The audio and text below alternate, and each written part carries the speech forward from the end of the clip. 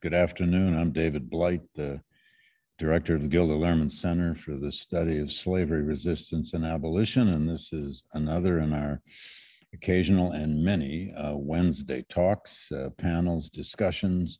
We used to call them brown bags when we all met in person, but you're more than welcome to, to have your lunch. I've still got a yogurt to eat. Uh, I am joining you all from the Beinecke Library. I'm up in the mezzanine. This is not a false background. This is the real thing. Uh, I'm here doing research much of the time. Uh, so I'm doing a few events from this beautiful marble palace. And the security people do come around, so I have to have this mask. Once once in a while, I'll pull it up if I have to. Anyway, apologies for that. Uh, this is a very special discussion we're going to have today with the Yale Prison Education Initiative uh, director and a um, graduate of that program and a distinguished spokesman of that program. Um, and uh, this is going to be very important. And we're, we're going to also even scheme to get the GLC more involved with the YPEI. Um, and I'm going to introduce our special guest in just one minute. I'm really excited to welcome both Zelda Roland and James Jeter. Zelda is the founding director of the Yale Prison Education Initiative. She's a Yale BA and then a Yale PhD. She was an art history major here. Um, she first got started, I think, well, I'm going to let her tell you how she first got started on these questions and these issues. Um, she coordinates this partnership between the Yale Prison Initiative and the Connecticut Department of Corrections um, she has uh, built this into a, an amazing uh, project, and it is now only growing. And there will be more announcements soon to come about just how it is growing. Uh, and lots of Yale faculty, graduate students, and units around Yale have become more and more involved in the teaching of actual Yale courses for actual credit in at least two Connecticut institutions uh, one in Cheshire, Cheshire, and one in Suffield, and there may even be another. Um, welcome, Zelda. It's high time we did this panel to uh, to highlight you and your program, and we're about to. And then I'm especially delighted to welcome James Jeter. Uh, he's the founder of a program at Dwight Hall, which is a, an important, old, and famous part of Yale University. He's the founder of Dwight Hall's Civic Allyship Initiative. He's a New Haven native. He's an alumnus of the Wesleyan Center for Prison Education at the Cheshire Correctional Institution, where he spent nearly 20 years uh, incarcerated. At Wesleyan, it, through Wesleyan's program, he completed 20 credited college courses. He's a member of a program called the Lifers. He's worked with at risk children and youth. He's raised money for food banks, and done all kinds of civic work here in New Haven and elsewhere. He's become a, um, an ally worker with the Hartford Police Department. Uh, and there are many, many other organizations that James works with and has worked with, and I believe is, is either now or has been also enrolled at Trinity College in Hartford.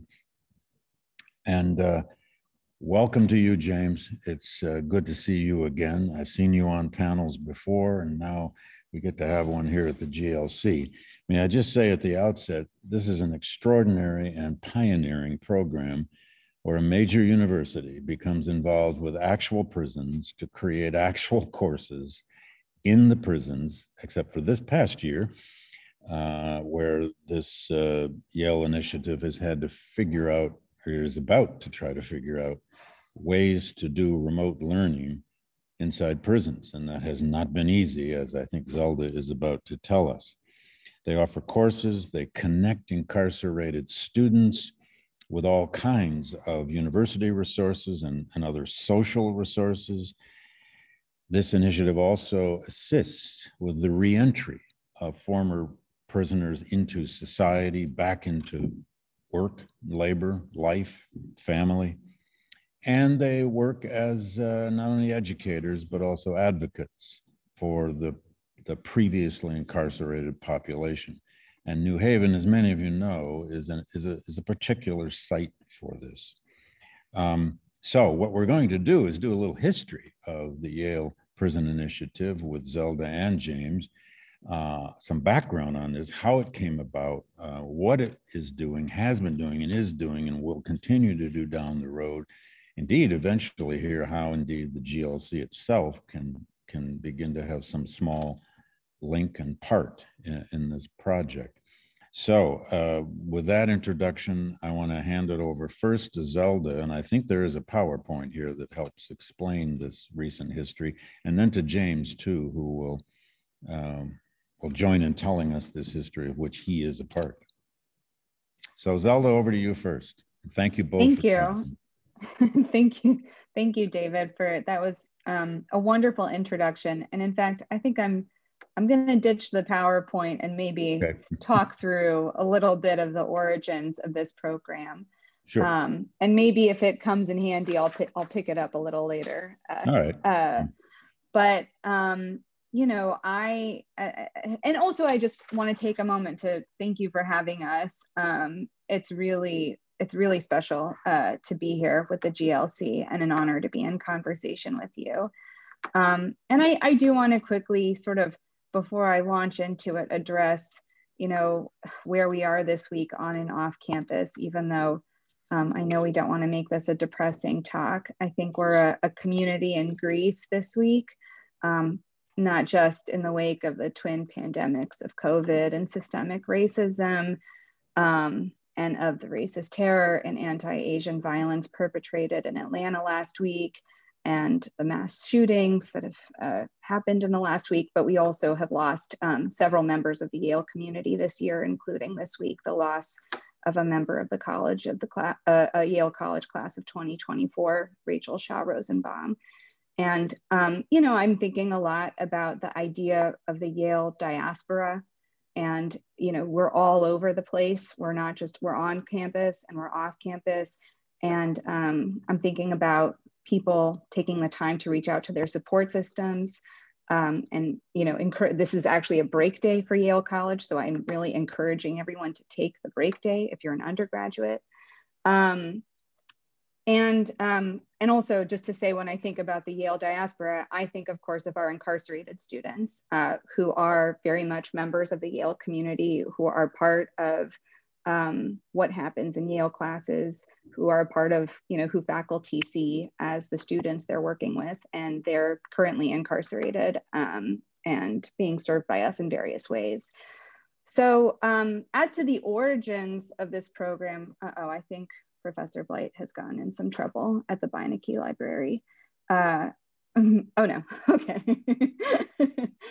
uh, to our origins, I'm just going to say, um, like Professor Blight said, I was um, I'm an alum of Yale College and also of the graduate school. And um, I became involved with the Wesleyan Center for Prison Education when I was finishing my dissertation uh, and started uh, volunteering there uh, in their program, which operates at Cheshire Correctional Institution, just you know half an hour from Yale's campus. And when I walked into those classrooms to work with incarcerated students there, even though I'd been teaching on campus at Yale at that point for a number of years and in various ways as a TA, teaching my own classes, um, I, I recognize that those students there were really some of the brightest, most ambitious, most promising students I, would ever encountered. Um, and it was through conversations with them, with these Wesleyan students, uh, that you know, well, they they encouraged me to start a program at Yale, and they said, you know, this is just one program in one prison in the state, and it works with a limited number of students. But imagine what a Yale program could do.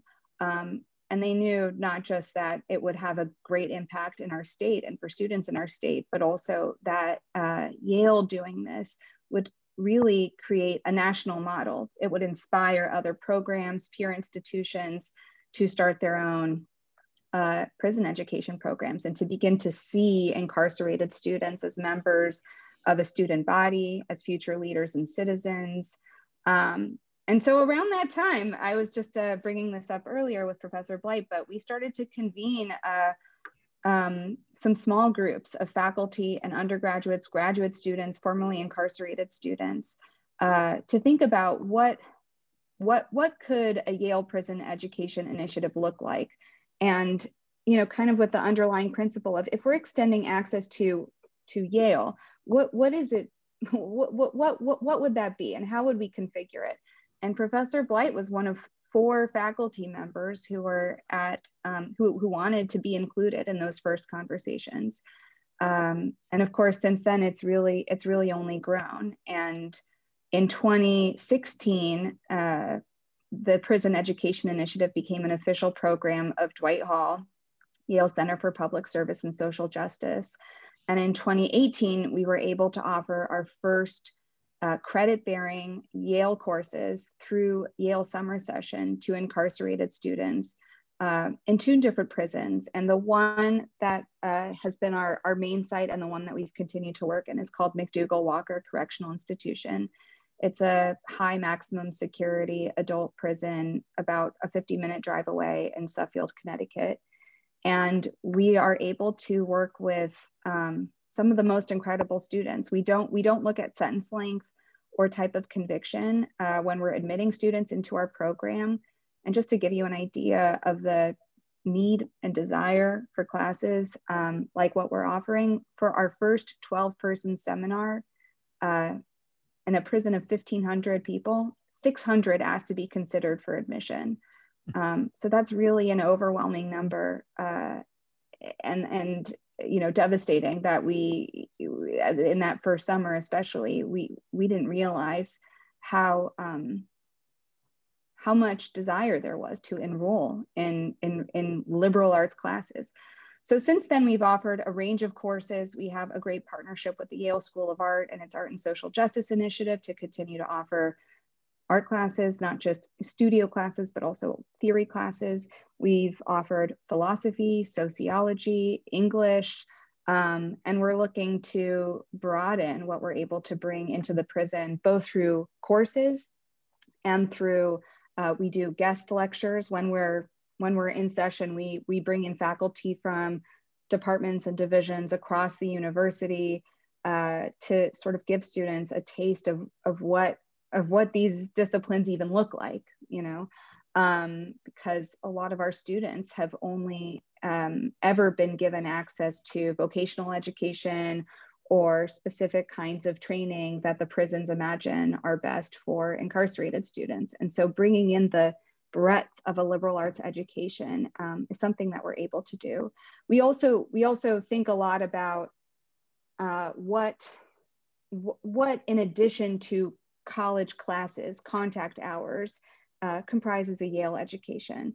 And, uh, you know, for us, you think about a Yale student on our campus, and it's not just classes, it's library time, academic resources, peer tutoring, academic strategies, counselors through the Poorvu Center. And so in this last couple of years, we really bolstered our programming not by not just by offering classes from a variety of disciplines, but also through partnering with the Yale University Library, um, through which we're helping students access library resources on campus.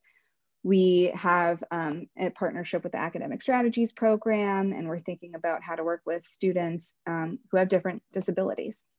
So I'll, I'll leave it, that's kind of the big picture. I'll let James maybe throw in I don't know. Yes, uh, James, please do uh, tell us your experience with this. You are now a product of this liberal arts education. Um, tell, tell us about your story. How did this come about for you? Um, I'm a born and raised in New Haven, so you know I've been cutting through Yale campus. I grew up on Edgewood Avenue. I've been cutting through Yale campus to get downtown since as long as I, as long as I can remember walking. Um, so my uh, journey in higher ed in prison began with Yale. Uh, there was undergraduates who were coming in maybe in 2005, 2004, uh, teaching college prep classes, and then um, they graduated, and that program kind of fizzled out. And Wesleyan came in uh, about a year later, and within three years they had formula uh, formalized a, actual program, um, which is where I met Zelda um, in the study halls when um, another Yale graduate was running uh, the Wesleyan program, um, Dara Young, and um, uh, I was released from prison in 2016, and you know, uh, I would say within days of me being home, Zelda, we spoke for the first time, and she was like, "Hey, I'm doing it." it's like, um, I want to talk to you about this, and you know, I want you involved. So uh, she's pulled me in since then, um, and then uh, made me the uh, inaugural Tau Fellow in the program in uh, 2018. Um, higher ed in in prison um, well, you know, I guess the the simplest way to express what higher ed in prison is is that uh, higher ed is the only thought process in prison that is really concerned about who you can become. Um, it, it's it's not it's not focused on your uh, this this this singular moment in your life that has defined you. It's it's more about the possibilities of what lie ahead of you, and um, that in itself sets it uh, uh, directly in contrast with uh, DOC logic and culture. Um, so it's, it's, it's not an easy fit. It's not a uh, it's a great fit. Um, if if you're me, if you're if uh, you're a person who wants to understand your capacity, not look who doesn't believe that anything can add to it other than helping you uh, understand exactly what it is and feel it. Um, and so you know, uh, that that became my outlet.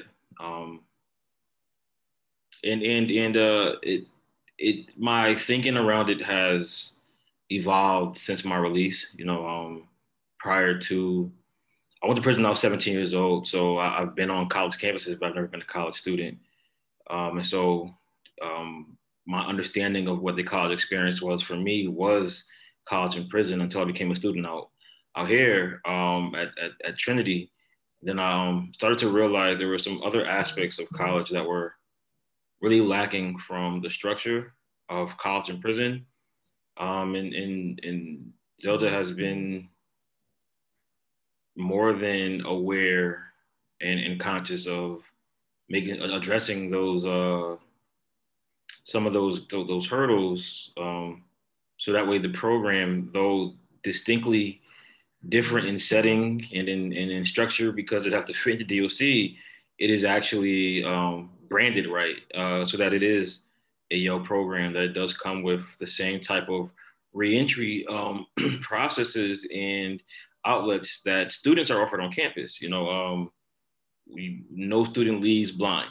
And so making sure that, you know, the students that are in the program, and for that, an extension of the program, we're in a very small state with not many programs and you know having been in uh, at the time the biggest program we just you know we know a lot of students so it's not just students in our program but students in general who we come across that we are creating access um, college access uh, the same type of outlets that any student would have um, around employment and well-being and and, and, and opportunities. Um, so it's been it's been uh it's been therapeutic for me to be able to uh, partake in uh, th- those aspects of, of the program. And um,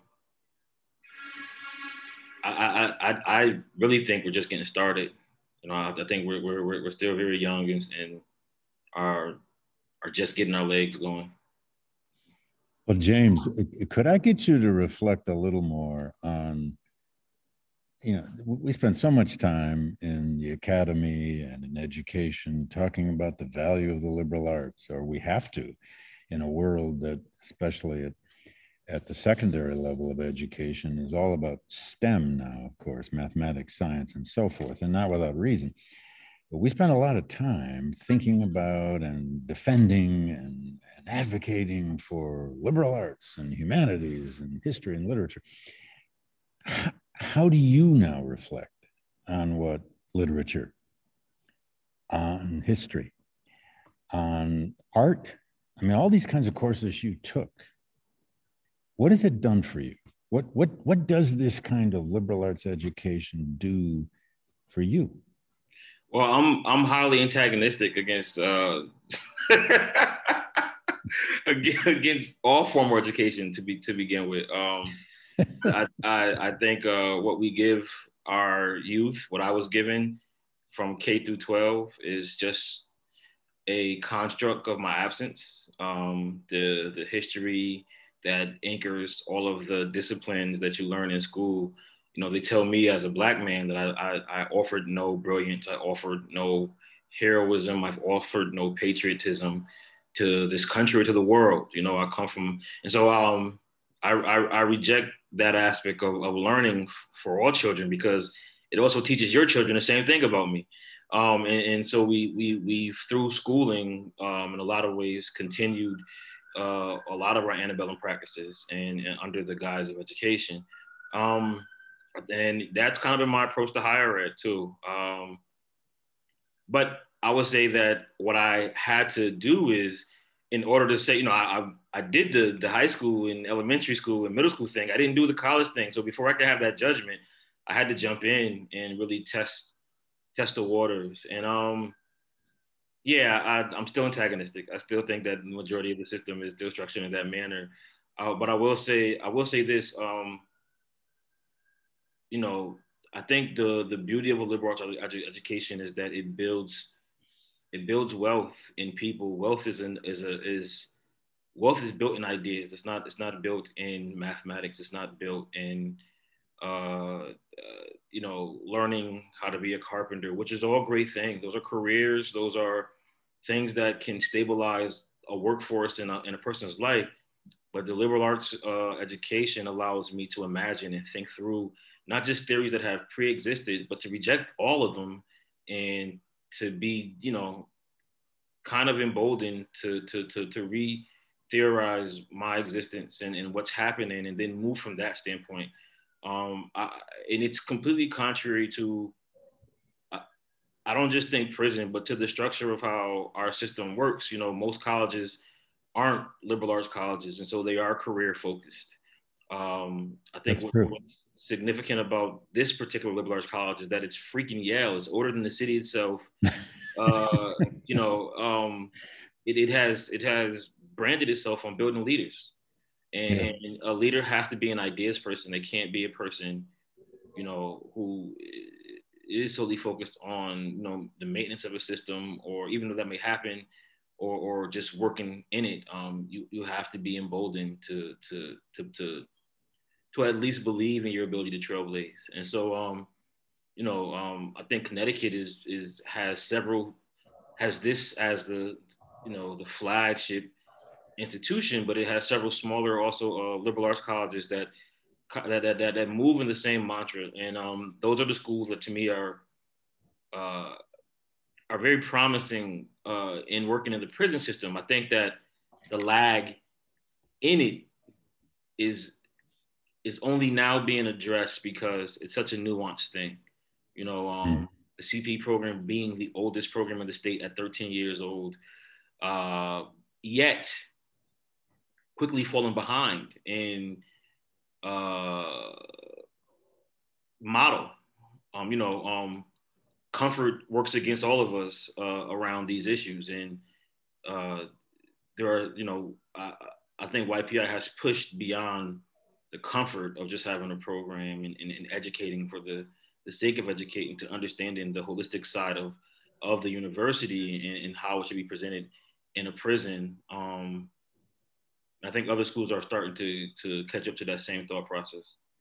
You know, you know how they put those banners over uh, I don't know, you know, uh, Chapel Street or or York Street, you know, of all kinds, uh, or out on Whitney Avenue. Maybe we should put that quote of yours. It's freaking Yale, man, with your name, YPEI. You know, uh, I don't know. What do you think? You think they do? yeah, I don't know how yellow feel about that. I think actually, they're. I mean, I, some people around here have a great sense of humor. They yeah.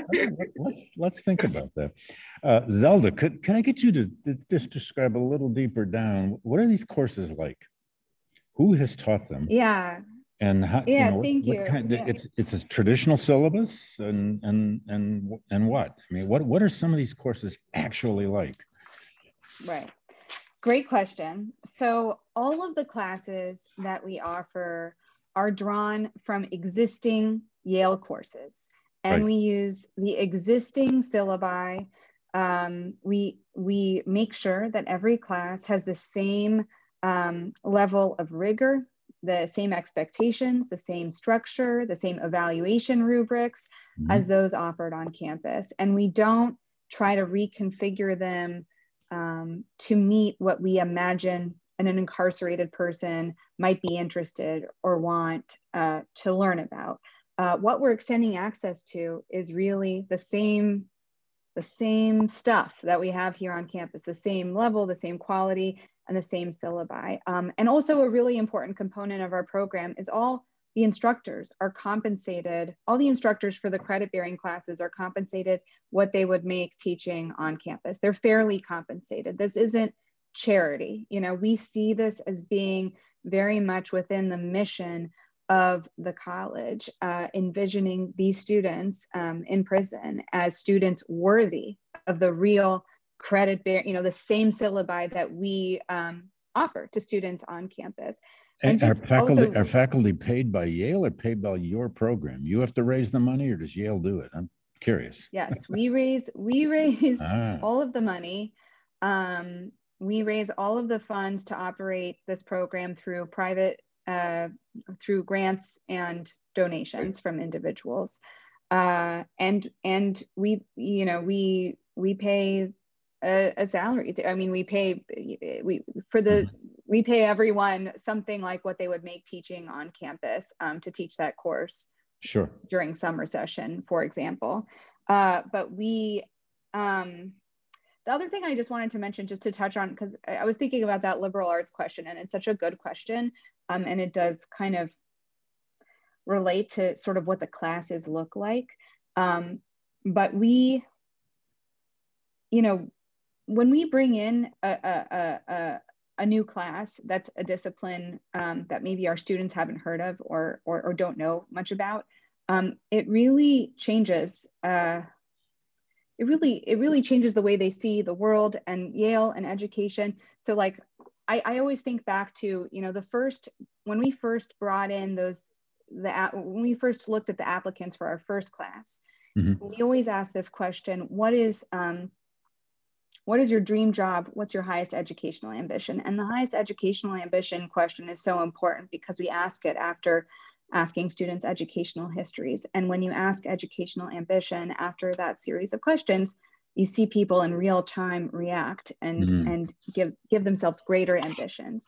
Mm-hmm. Um, but for those first questions for what's your, what's your dream job? All, we saw all of these students who wanted to be child, child psychologists and we were thinking why why is that um, mm-hmm. and it turned out there had been some sort of volunteer lecturer in the prison a couple months before we turned up and all of the students um, inside had been really impressed by it and and it mm. affected um, their career trajectory and every class that we bring in you know so after that first english class we did the same survey and we saw that we had students now who wanted to be poets and writers um, and then the next summer, you know, we had an art class, and all of a sudden we had artists. And then, you know, I had a brilliant lecturer from East Asian languages and literature come in. And a lot of the students said, Me, I'm not interested, but I'll show up. And, and they went to this incredible lecture called mm-hmm. Decolonizing East Asia, Mm-hmm. And after that, I had East students who still say, I want to be an East Asian languages and literature major. I wish and the so regular each... Yale students were that were that impressionable. well, it's you know, it's it's very sad. It's it's it's I've had a lot of students who will read, you know, Fanon in a class and feel a sense of sadness that they were never, you know, why wasn't this brought to me earlier in my education? Yeah. Why wasn't I made aware of the range, the the depth of what happens on this college campus. You know, where I we, we have a student who used to sell candy in front of Berkeley College. I had no idea. He said that this is what was going on in Berkeley College. I mean, it's mm. it's mm. it's it's really something um, that we wrestle with when we're able to to just bring this exciting, amazing mm-hmm. access mm-hmm. to students in mm-hmm. prison um, there's two sides of it. There's there's really, you know, students who are just brilliant and encouraged and become you know ambitious and can kind of see their pathway and their future change before their eyes but who are also really um, disappointed in what their education has brought them so far how was the reaction of uh, the the McDougall prison or the Manson facility? When you first came and you started this, I know Wesleyan had already been involved, so that might have paved the way for you. But what the officials at the prisons, what were their responses to this? Did they just welcome you with open arms, or lots of suspicion, or both? Or mm, that's a good question. We had. Um, you know, around the time that we first started dreaming this up, um, you know, there were there were two entities to convince. There was Yale, and there was the Department of Corrections, and um, I always joke that you know, eh, but it's there's a lot. Of, I thought the Department of Corrections was going to be hard, but the Department of Corrections was nothing compared to Yale. We had at the time a commissioner who you know, I sat down with him. Um, Hope Metcalf in the law school uh, had arranged a meeting with the commissioner, and you know, I gave him this presentation. This is what I've seen happen at Wesleyan, and this is what the students are like, and this is what we, I think we can do if you mm-hmm. gave us, you know, the ability to partner. And he just he stopped me and he said, I have been waiting for someone from Yale to mm. come to me with this idea for years, and mm. I will do whatever it takes and whatever you need uh, to make this happen. I'll come to any meeting. I'll, you know, hmm. I'll figure it out. I I want desperately for Yale to offer this program in our prisons. Um, now that was, you know, five, six, five, six years ago, and um, it's not always easy. It depends on each facility is kind of its own island. Each prison is its own island with um, different people uh, managing it. And you find some people who really are excited about um, what we can do, uh, how we can change students' lives, how we can bring them home, how we can find pathways uh, for them to college campuses. And then you find others who are really not interested in helping facilitate a Yale program in a prison. Mm-hmm. And that's just part of the course of things. Yeah, well, and the university had to make the decision to give credit, right? Which is always always an issue around universities, I suppose. But but if but but you must have shown the rigor of the courses, the the fact that you were bringing in real faculty, and somebody, I don't know where, the dean among the deans or the registrar finally said, "Yes, go for it. I take it." but it but it wasn't easy. Zelda, one other question for you, and then I got another one for James at least. Where did this come from in your own education? Art history major at Yale, then law school. I mean, did did was this something very early you wanted to get involved with? Was it the mass incarceration phenomenon that drew you? Where did this come from in your own education? Yeah. Um, Where did it come from life? I really it, well, it came from a lot of different places. Um, you know, I, as you mentioned, I have a PhD in art history and right. film and media studies, and I wrote a dissertation about um, extras and mm. racial typecasting in early classical Hollywood, the mm. way that background actors um, were classified according to a criminal identification practice um, that was drawn from French 19th century, you know, Bertillonage. Uh, but really it had nothing to do with this. I, like James mentioned, I had a friend from, from college who was running this Wesleyan program and all of the undergraduates who had been working with her that semester kind of flaked out at the last minute. Mm. Uh, we can't, we, I have too many classes. I can't make it to prison. And um, she asked me if I would volunteer to help run her, prison, her, study right? halls. Yeah, right. um, she asked me if I would, as a graduate student, you know, I was supposed to be finishing my dissertation. So, so I was really happy to, um, you know, find a new distraction. And it was, not something that I I ever thought would I, you know I would that would change my life that I would spend the rest of my life doing. And at the time, Jonathan Holloway was the dean of Yale College. Right. And I sort of, you know, I had this how are we going to offer credits? If if we could build this, if we could get faculty together, if we could get enough support, um, you know, for for decades there had been um, Yale faculty and graduate students who had been um, volunteering in prisons in many different capacities, faculty who went in to teach not for credit inside out courses, undergraduates through the undergraduate prison project who volunteer at this um, prison for young adults. But there never been a student in prison who could say that they were a part of a real Yale program with real credits. And, you know, and, and I, we figured out a way to really, we had a proposal. This is how we think we can do it. Um, you know, we start with um, classes offered through Yale Summer Session, which already offers uh, credit bearing Yale courses to non matriculated, non degree students. And that was really our entree. And um, I honestly thought that I would propose it to Dean Holloway at the time.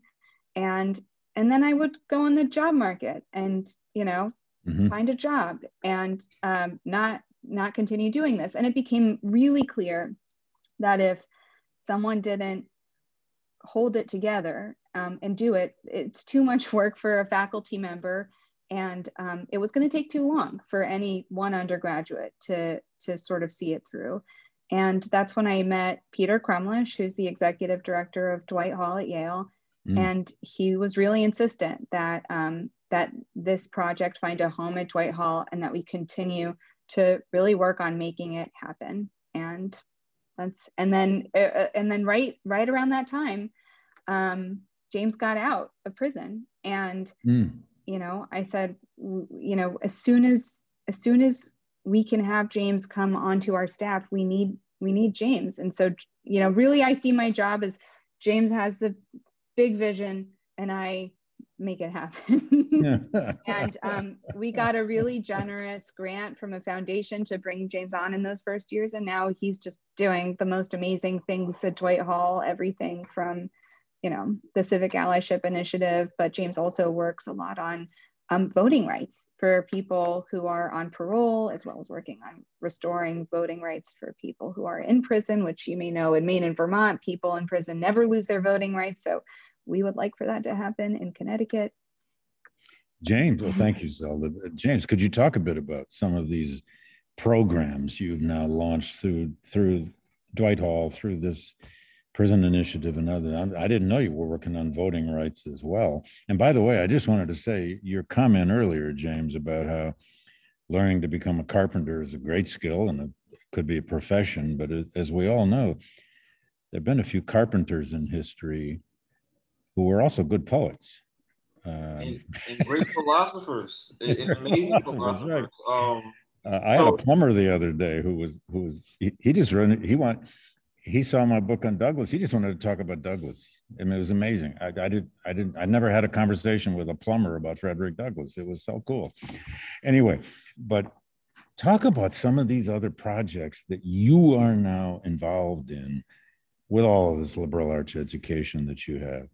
Uh, well, I, I guess first, um, I, I educated myself out of any viable stream of employment. So, so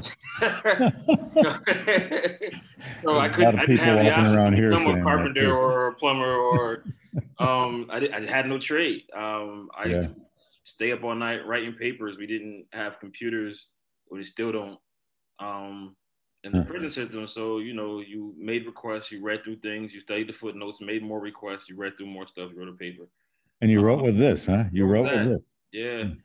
Hmm. Um, so people don't walk by my cell and be like, what is this going to get you when you come home? Like, what is this going to do for you?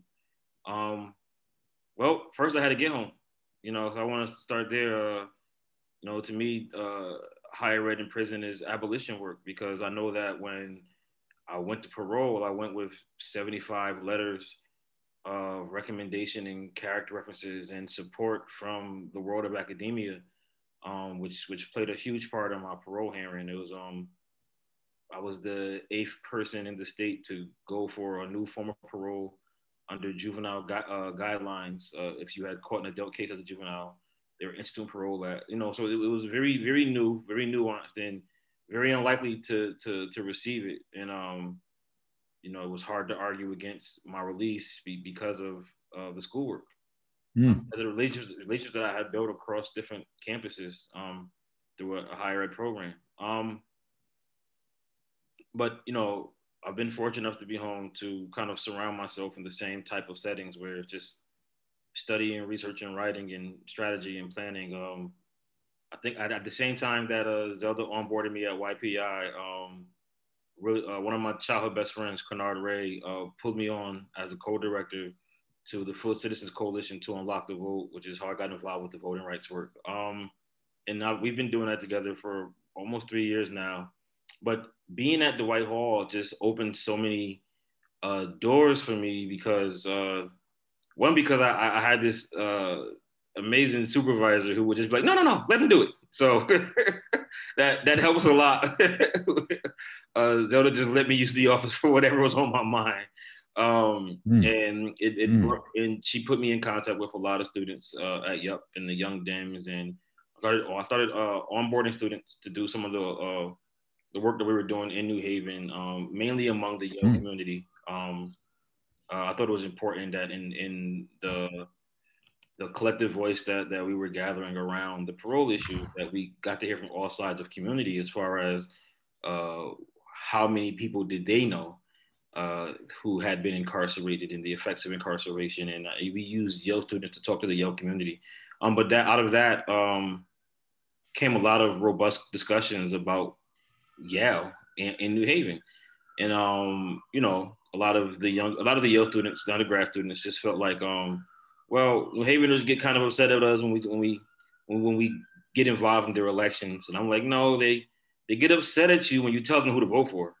Like, just this this city has a history, and um, you don't know it to to lead in discussions of who should be in charge. Um, but you're a powerhouse. I, I, I um, I'm late to most scenes uh, in thought and you know it dawned on me around that time um, just the power of colleges and especially like in a small state like connecticut where you have these built-in concentrated hubs of voting power and it's completely unorganized. Not only and you know for the very first time in my life i started wrestling with the theory of, of voting period. And and uh, what part it plays in the american experiment you know, mm. as, a, as a structure. And, you know, um, I think Afri- I think those of African descent, um, directly those of slave descent, have been destabilized so long they've never had a chance as a collective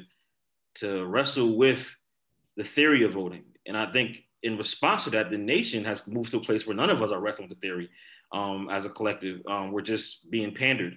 And so um, you know well said well said.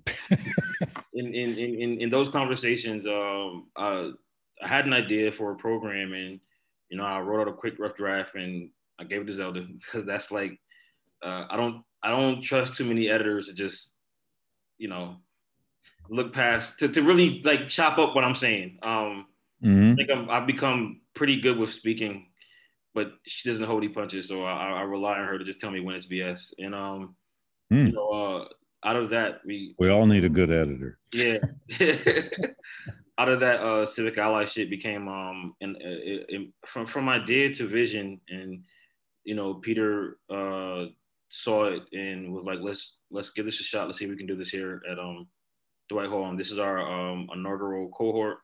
Um, we're working with a New Haven collaborative project right now on police corruption and prosecutorial uh, an, uneth- an unethical prosecutor prosecuting in New Haven. It's a timeline uh, that that uh, mm. show the structure, the culture of policing and prosecuting um, as the poisonous tree. You know, there's a legal argument of fruit from the poisonous tree, um, and so you know they're they're doing data mining and, and dossier building on officers and exonerated individuals for us, and we've partnered with uh, Sarah Stillman journalist class, her journalist uh, journalism class, and they're doing um, some some investigative journalism work for us on this on this issue.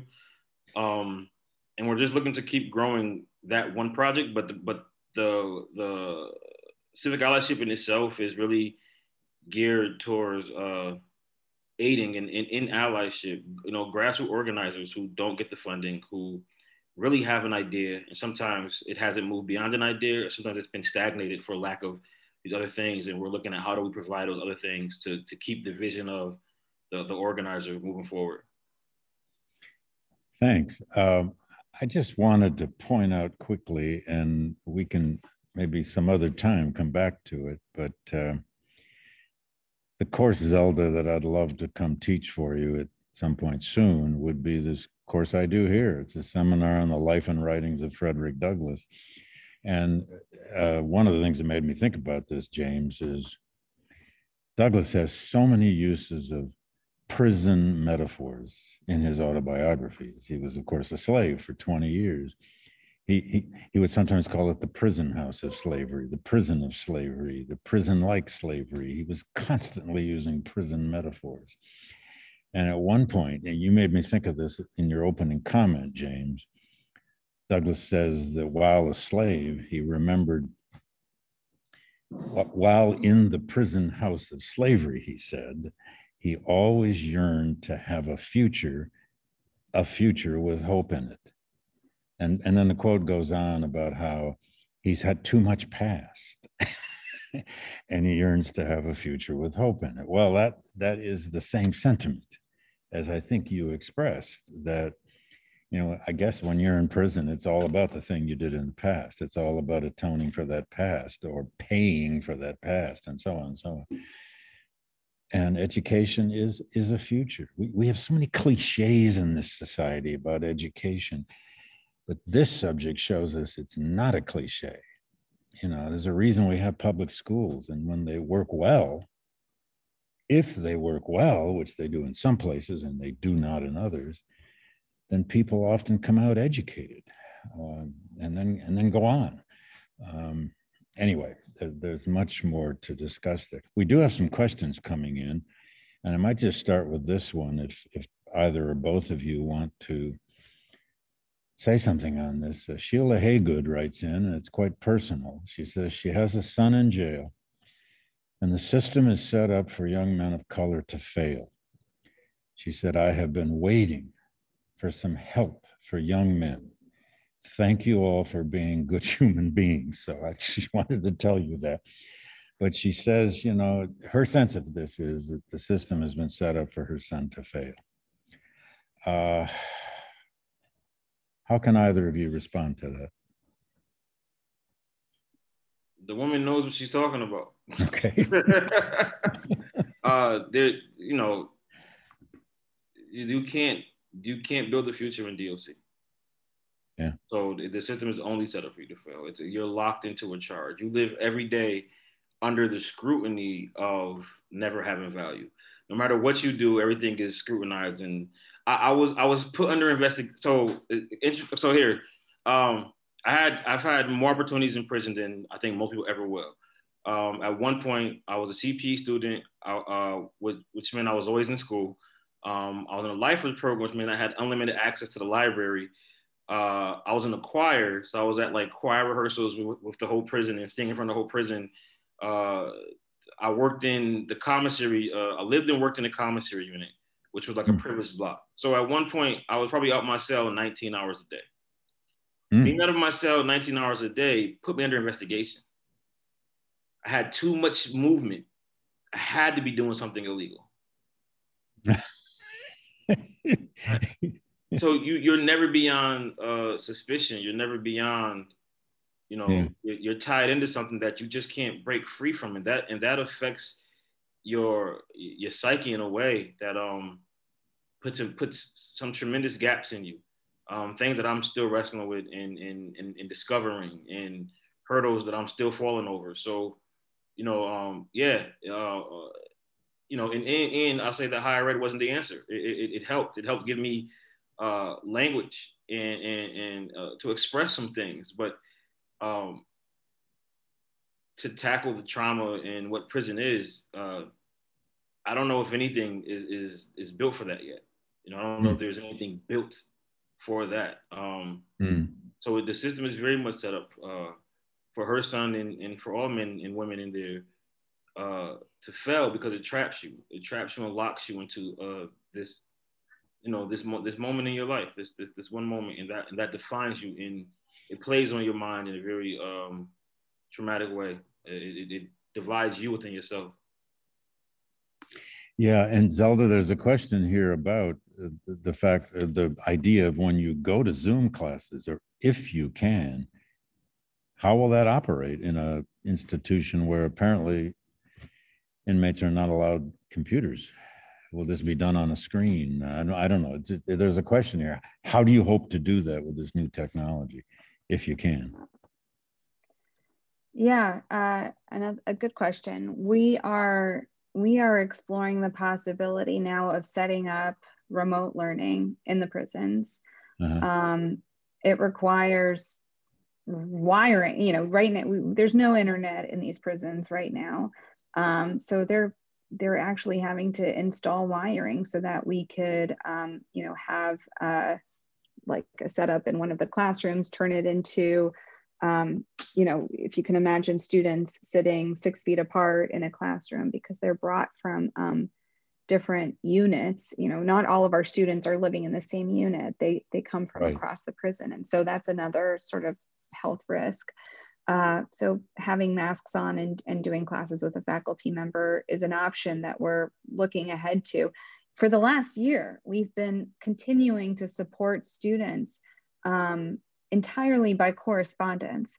If you can imagine, I mean, we we go to the PO box every day, pick up letters, scan them in, and using a Dropbox system, send them to the faculty that they're intended uh, for. Roderick Ferguson has been leading um, a, a year-long seminar uh, on uh, you know Black radical thought, and they're reading Black Marxism, and it's it's just it's a it's a it's a very slow system, but I will say, and it's not an elegant system, um, but our students have been going through so much trauma and isolation this year that a lot of them have said.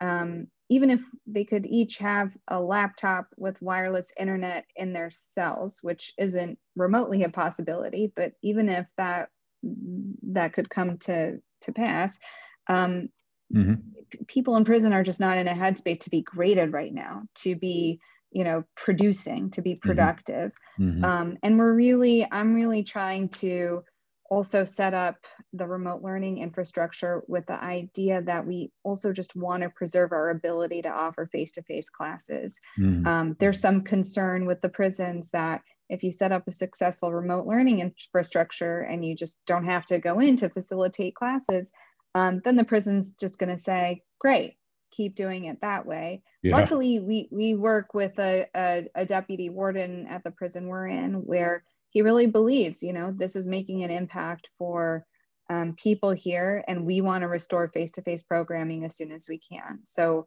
i don't know i really look to i think i read in the yale daily news that um, dean of the faculty Tamar Gendler said we anticipate the fall will be anywhere between 10 and 90 percent normal and uh, that's means they don't know yet. same goes for right same goes for our program Yeah. Well, here's a tough question, James, if you want to take it. Uh, uh, Tony Nelson writes in and asks, What are your thoughts on the emotional impact on the children of incarcerated parents? Hey Tony, how you doing? Uh, Well, you know, Tony. Yeah, I know Tony. Great question. Um, actually, there's somebody else on this uh, chat who I want to reference to, uh, Patrice Collins. She um, Okay. Uh, co-founded and directs uh, Communities and Family Rising for Justice, which actually works with the children of incarcerated um, Oh, good. uh, Okay. individuals. So, you know, I've, I've been working with her in the group for almost two years now, and um, Mhm. you know, it's it's a it's a it's a community tragedy. Tragedy. Uh, uh, when someone's incarcerated, it, it it it has an effect on the entire community, especially on poor communities, which most of people incarcerated come from, uh, especially in Connecticut. Um, and so you see the reverberations of the effects, like when it comes to visiting someone, and, and you have a community where 70% of people don't have cars, or when it comes to certain phone calls, but your community, you have a community where 50% of the community is unemployed. You know, and so all these things have an effect on keeping people in contact, keeping children in touch. And, you know, so much of our culture still uh, operates under the myth. I mean, if you look at the structure of our prisons, they're hidden. You know, they're hidden in small rural towns who benefit from them being there. Mm-hmm. But but uh, and so we have the uh, we, we we we've convinced ourselves that out of sight, out of mind works. That you know, the more contact a child has with a parent in prison, the more likely they are to repeat.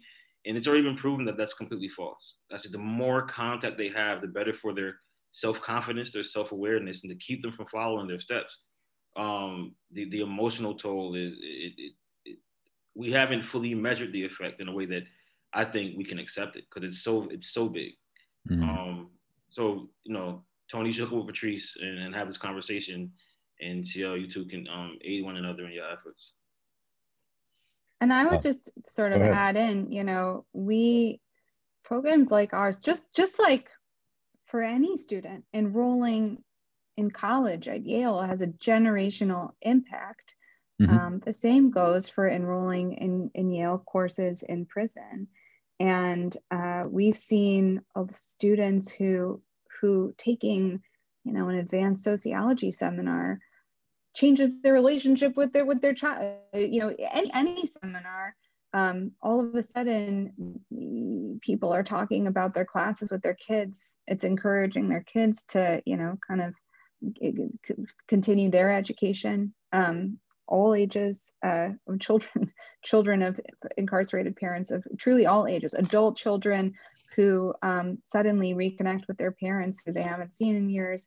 Um, it also, you know, it just it it it has a tremendous impact uh, at every level. Yeah, well, actually, last spring when we were first trying to teach remote, to to your point, Zelda, uh, I was doing my lectures twice a week.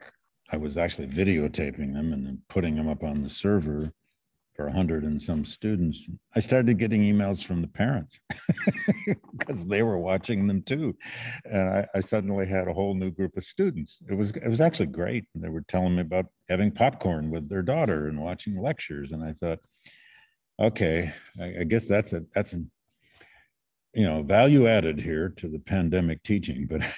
I don't really want to do it forever, but but you're right. You know, suddenly the parents were involved, and and the student didn't have a choice. Actually, um, um, well, uh, there's another question here, and this this can help us begin to wind our way out of this. But uh, perhaps Zelda, you want to go first. Uh, Rachel Littman writes in and says, "What do I, what do YPEI and James New projects most need, how can people help? Well, I'll, I'll just start by saying uh, anyone out there that wants to help this program, I'm sure Zelda will be happy to take your call and your contribution.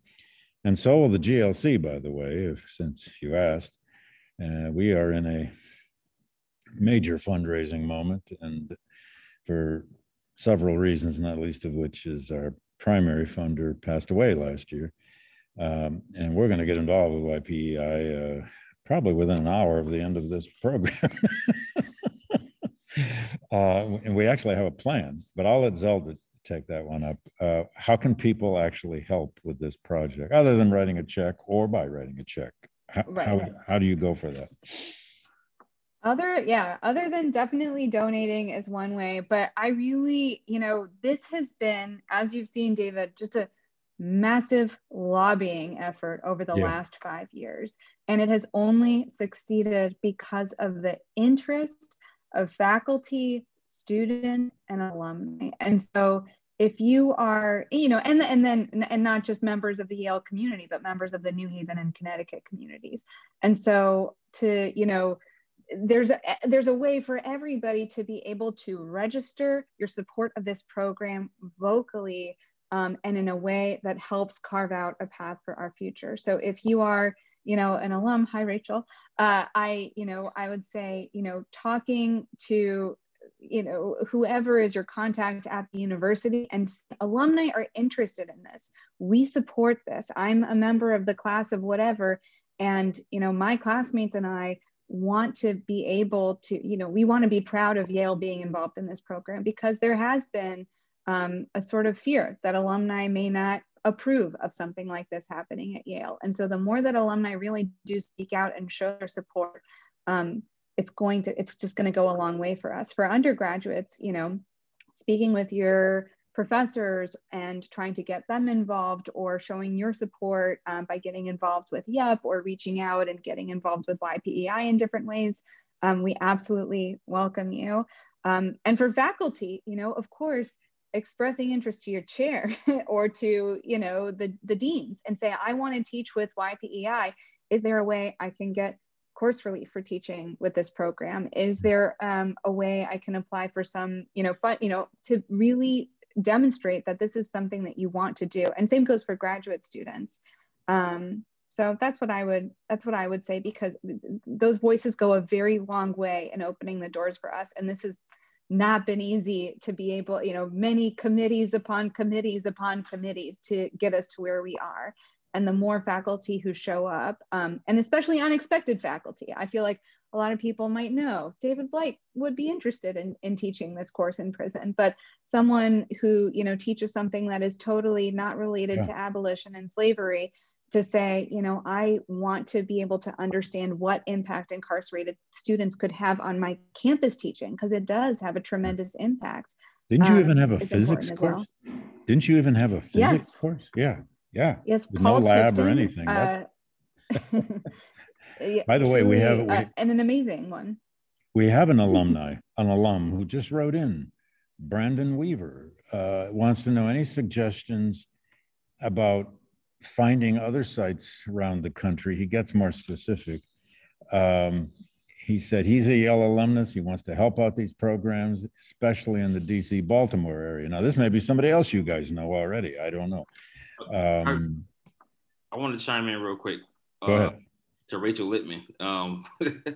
So uh, I have a very new program at, at Dwight Hall uh, that actually needs checks. So um, more than staff, like we, we need to raise money. So um, uh, in order to allow this program to gain legs and to what I really believe to do some really amazing work uh, and create uh, much more well-rounded uh, future leaders um, who have uh, a direct understanding of what is happening on the ground, um, the way policy plays out, um, and, and, affects uh, marginalized communities, um, then the program has to be stabilized. So we're, we're at a very early stage where alum, alumnus who support the program uh, financially is, is, is like a, a big deal for us right now.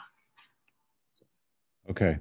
Um, and I'll jump in and answer Brandon's question. Um, sure. And this is this is like great. I, I I think one of the best parts of my of my job in these last couple years has been answering calls from other programs getting started across the country, and you know, people. I just got a call, you know, from the provost at Stanford. How do we create something like YPEI at our university? Um, yeah. How do we how do how do we kind of take what you've done? Like, how do we navigate um, the institution in this way. And I will say that actually there's a fantastic program um, out of Georgetown called the uh, Prisons and Justice Initiative. That's actually that was founded by another Yale alum, Marc there Howard. Um, the Yale diaspora. I there don't know what year he was, uh, but definitely look into that program. Um, and there is actually a national um, Alliance uh, for Higher Education in Prison, and they have an online directory where you can kind of look, click on your state and see what programs are nearby and what are ways I can get involved. Well, we're going to put up our website and so forth at the very end, and I think Michelle has already put yours in the either the chat or the Q and A. Um, but there's a couple last questions here. Uh, Charlotte White writes in and asks, any plans to offer courses to women at the York Correctional Institution? Um, I was I was actually just typing the answer, but but oh, okay. Wesleyan, Trinity, and Quinnipiac all offer their programs to women at York CI. And so, you know, this is it, it okay. kind of yeah. goes to an interesting question because we're really we're just limited by you know funding and classroom spaces in the sure. prison and so if a facility has plenty of programming and, and not enough classroom spaces for the current programs then there's really no need for us to go there. There's 14 other prisons that that need um, college programming. Sure. Well, you know, Zelda, you may be consulting uh, around the country on this question the rest of your days if you choose to. um, you know, the GLC here at Yale 22 years ago was the first such institute to study slavery and abolition at a university. There are now at least four or five others, two in England, one in Canada, two in the US, with similar missions, similar definitions, and uh, uh, you know, one thing always leads to another. To a, a good idea won't stay in one place. Uh, but you, but you know, to James's point, what's what's so invisible about prisons, right? I mean, they're all they're all usually in these small towns, um, and it's got something to do with the voting rights question too, doesn't it? Because to, to most of us, to vast majority of Americans, they probably don't know formerly incarcerated people. They they don't they don't no one visits prisons if they don't have to, right? And so it's an invisible problem, even though it's millions of people, you know, denied the right to vote. Um, it, it, it, this is this in, and you know, we're always going to be up against it in that sense. There's the invisibility of this, but the more and more and more visibility that a place like Yale can can you know it's it, it's friggin' Yale is or freaking Yale as as James said can bring to this, all the better. Um, you know, I just want to, I mean, I just want to say once again, this has just been one of the best arguments I've ever heard for what I've, I guess, so many of us have been talking about all of our lives, and that is the the very function of this thing we do called education, especially in the liberal arts. And liberal arts, of course, includes the sciences. Um, this is why this is why we read literature. This is why we do history. This is why we read poetry. Um, I'm sitting here in the Beinecke studying a great poet, James Weldon Johnson. And um, at some point, I'd love to maybe do a lecture on Johnson. And that guy was amazing. He was a polymath. Um, and his papers are all right here. What if we could bring James and a group of other students at some point here and let them actually see and hold these documents in this in this incredibly special place. Um, what, a thrill that would just to hold those documents. I, I do institutes with high school teachers virtually every summer, and their biggest thrill about coming here for a whole week is not listening to me. Uh, it's coming into this library and holding documents. They go crazy over that because they never get to do that.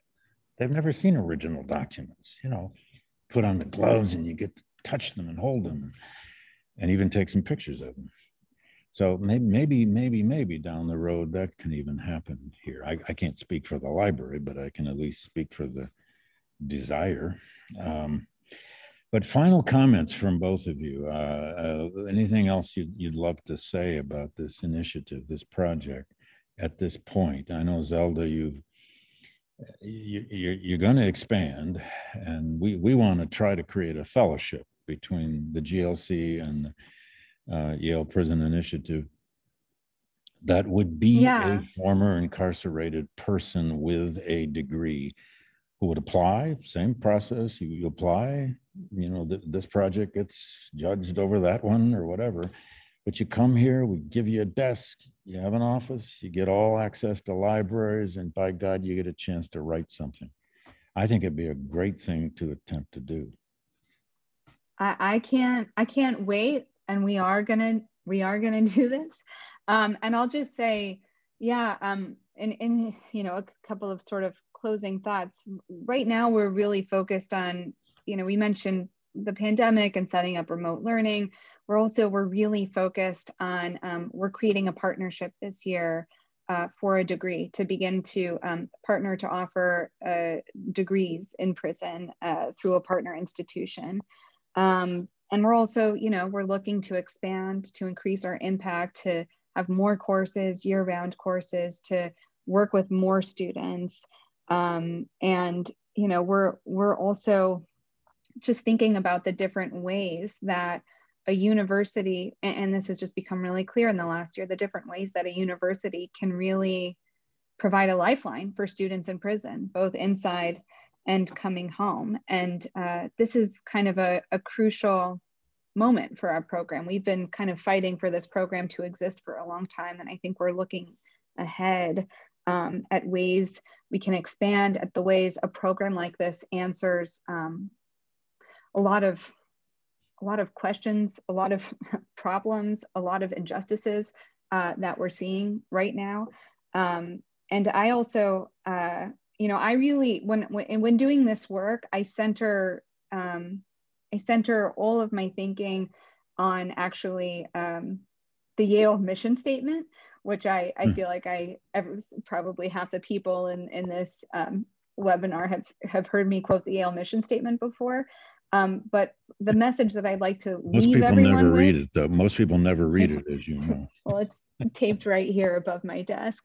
Um, but you know, the mission of Yale College is to seek extraordinarily promising students from all over the country and to educate from all over the world rather sorry and to educate them with the aim of cultivating future leaders and citizens and so what we're doing here is without changing a word of the yale mission statement is we're you know we're looking at that verb to seek. We're seeking extraordinary extraordinarily promising students in unconventional places. And you know yale admissions sends out delegates all over the world to find these extraordinarily promising students. And we're making the argument that they're actually just as promising students right here in our state prisons who have been you know over policed disenfranchised by the university um, in different ways who live in our community who come from our community and want to you know and, and we see a lot of times people calling on yale to to act um, against injustices or to serve the community in different ways. And we believe powerfully that this is one way that the university can do this through teaching power, through what we do on campus, through teaching power and through the liberal arts, and by extending you know, equitable access to education and high quality, the same high quality education, um, rigorous education that we offer to the students who walk on our campus. Um, and, you know, we believe that you can do all of that without changing a word of the Yale mission statement, that it's all right in there. And, you know, like, like a, any good Yale, uh, it's, it's all about the close analysis. you did a close reading of the mission statement, huh? I, can, Every day. that's funny because I can add to that, that when I was on the Calhoun College renaming committee four or five years ago now, that mission statement was very useful to some of the conclusions we reached. I'll just leave it there. But but I'm glad Yale had just super rewritten its mission statement because it was actually quite useful. I mean, it's it's also really powerful to think about. You know, the mission is creating future leaders and citizens, and so I mean, we talk about this all the time. But if if you if you, um, you know, if you think, if you can think, if you can imagine a post-carceral abolitionist future, then you have to be able to imagine that students who are currently incarcerated, who have the experience of these injustices in the system, will be the leaders of that future. And so our, our responsibility as a university is to invest in those current students, future leaders, future citizens, current said. citizens, future James, leaders. any last comment and then we'll close it out. Uh, yeah. So, um, well, Zelda gave the, the best pitch. Uh, I'm I'm going to give uh something a little more uh, well, it's gonna be different. Um, I'm a New Haven native. Uh, what I know of Connecticut, what I know of New Haven and Yale is that uh, during my lifetime and my my upbringing, New Haven had the highest conviction rate in the state and thus it drove the state's conviction rate because the state's attorney's office is an extremely competitive office. You can't be losing cases when someone else is winning cases. You won't. And you know, part of the high conviction rate in New Haven is Yale's presence. It is hard to send kids to a city that has been that is on the, the one of the 25 most violent cities in the nation. Mhm. It's a poor city in the middle of a lot of wealth. Um, it's hard to send your child there with, without certain uh, certain things that of, of comfort. Um, doesn't mean those things uh, were reached in a very fair or just way. And so um, when I think about uh, Yale and this program, I think about what the city has already lost and, and, what this program has the ability to give back to the state. Um, out of all the satellite schools that uh, campuses that Yale has, I think the one at McDougall and wherever else YPI expands to are the crown jewels of satellite locations. I, I, I grew up in prison and I grew up around brilliance. It's just hidden. Um, and I'm, I'm not, you know, special. I'm just the first one to come home from amongst those who I was surrounded by. Um, I was a lifer, which meant that I wasn't, it wasn't meant for me to come home anytime soon. Um, yet, you know, the ability to, to educate myself and to find um, alliance and support within these, these, these networks, you know, has allowed uh, me to move into the position of leadership and to, uh, to really grow my, my imagination. And um, I think that's what this program, I know what that, that's what this program is offering. Um, in a way, right now, that no other program in the state is offering it. And, and, and Yale, Yale itself, though, hasn't earned the right to what will come yet. Like uh, I, I, came through Wesleyan. Wesleyan has not earned the right to attach itself to my success. Hmm. Um, my benefit from them ended with my education. Their benefit from me has continued without support. And you know that's just a failure of the program to move past the comfortable and figure out exactly what it is they want to do, and not the program itself, but the institution of Wesleyan. So, you know, I definitely uh, look for more Yale support, for more departments, and for more administration to come on board with this program so you can actually earn the right to attach yourself to the brilliance that is going to come out of this program because it, it, cause it's coming. You know, uh, I like I said, I wasn't set to come home for another 10 years. The laws changed. That's it. Laws changed, which released me. And the work and preparation that I had been doing showed up. There are guys doing the work who are committed to their transformation and, and you know, their communities and the world will benefit from it. And so will Yale, but Yale needs to earn that by supporting this program a lot more.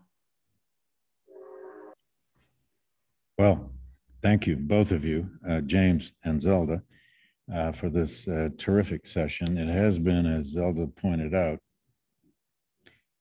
a harrowing week, uh, month, year, uh, both here and uh, across the country, across the world. Yale did have another terrible tragedy of its own just this week, which we don't need to go into. Um, but you just uplifted us, though, about a, a problem that is uh, not always so uplifting. And uh, you guys are all about possibilities. You're all about future. You're all about the promises. But you're also about what a humanities, liberal arts education ultimately means. It's the same thing as what democracy ultimately means. It's for the brain, the soul, the spirit, uh, the whole of us. Um, and uh, I'm just so glad we did this session. We had a great audience, great questions. And I think Daniel is going to put up, uh, I don't know, a, a, flyer here at the end that will show a website and so forth. There you are. And uh, uh, again, Zelda, James, thanks, thanks so much for. Let's get together in person by this summer somewhere, okay? And Zelda, we'll talk. Life and Life and Writings of Frederick Douglass. It's a course. I, I can send you the syllabus right now. Uh, I'm sold. We'll do it. He wrote millions of words, so there's a lot to read. Let's do it. Okay, thanks. And thanks everybody for attending today and uh, have a great Wednesday.